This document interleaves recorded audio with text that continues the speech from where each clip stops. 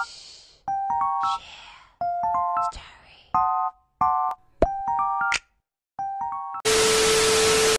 morning guys! So ayun, good morning kahit alas 12 na. Kagising ko lang kasi, tapos in order ko, dumating siya ngayon. Tapos nakaganto siya. Kasi in order ko siya. At at kasi ako, binuksan ko na agad. Ang cute kasi, tignan mo. Yung bubble wrap niya is heart.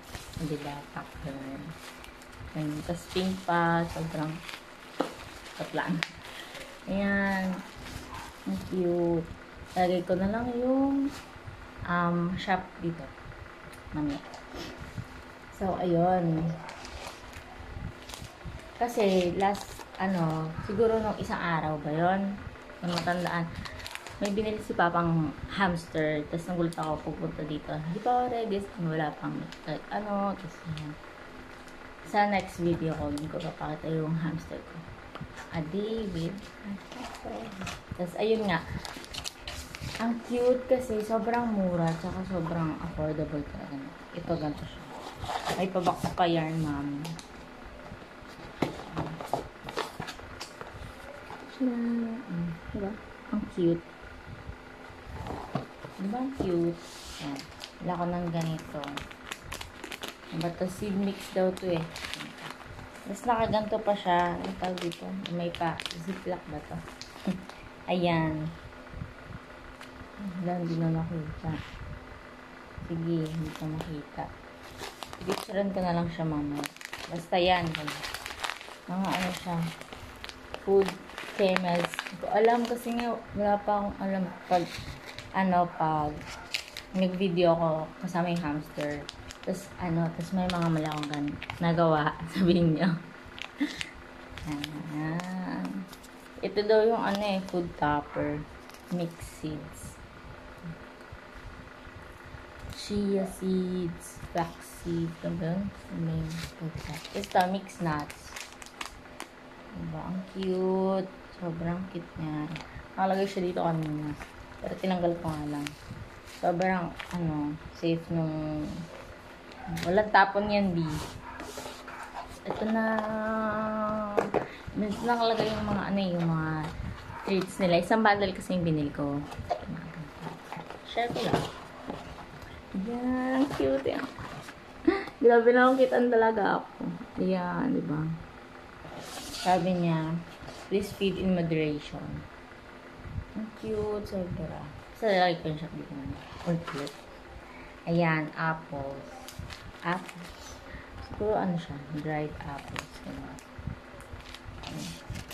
Tapos to, hindi ko alam eh, ano ba to, pero, pero nakalagay ano, smart heart. Smart heart yarn. To, dried fruits. Cute. Sobrang cute niya. Sobrang cute niya. Lahat to, ano, nasa, itong in-order ko ngayon, lahat kasama yung kanina, nasa 440 siya. Ayan, 445. Tapos, ito, mealworms. Nakita na siya. At yan, 3 of Cerelac. Tapos, veggies. Ang cute talaga ng ano nila, packaging nila. Grabe. So, ayan, cheese. Cheese. Di, ayaw niya talaga mag-focus.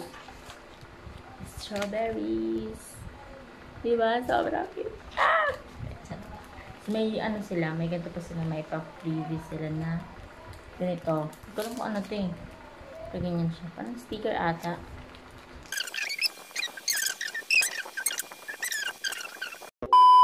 Nililis tayo ng kulungan ng hamster namin for now kasi order pa lang sila ng bagong cage. Yun. Ito. Kasi nga, diba, sabi ko, kaka, dating lang nila no isang araw. Tapos, di ba? Tignan mo to. Nag-aabang siya. Nag-aabang siya. Nakatingin siya dun sa mga hamster. Baby boy naman. Yan. Commercial. Commercial yarn. Wala, hindi ko alam kung paano ko ilalabas to kasi andito siya. Hindi ko alam kung paano. Hindi ko alam kung paano ko ilalabas sila. Hindi naman yan. Ano eh. Sabi, sabi ko, pet yan. Pet natin yan. Pet. Ano ba? Hmm? Hindi ako expert sa pag-alaga ng hamster. Yun. Kasi nga, bago pa lang. As in, beginner, beginners, nurse, nurse. Sobrang, as in, ngayon pa lang, ganun.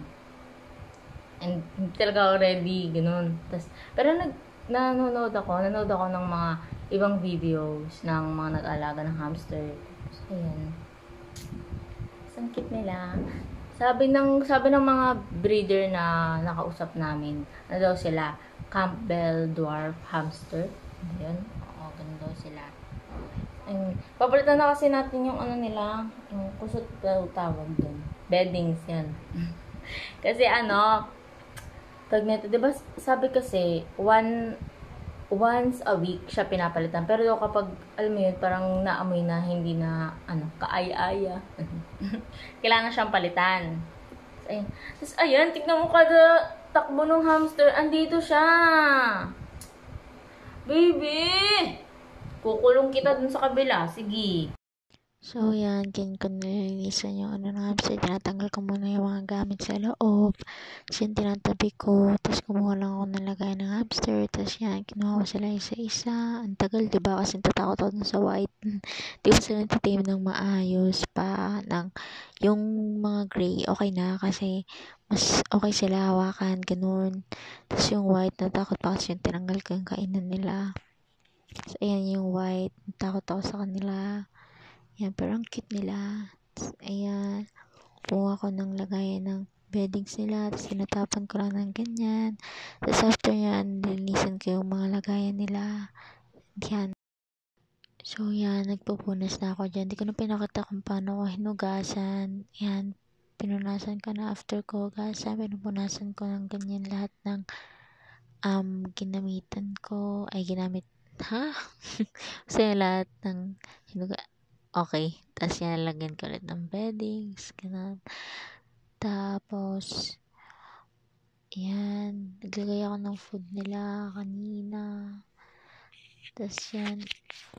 Yung beddings nila, alam ko konti lang yun. Kasi yung in-order ko, di ba siya narating. Kaya, hindi ko siya madagdagan. Kaya, last na kasi yun. So, yung kinukuha ko na sila dun sa lagayan na, ayan o.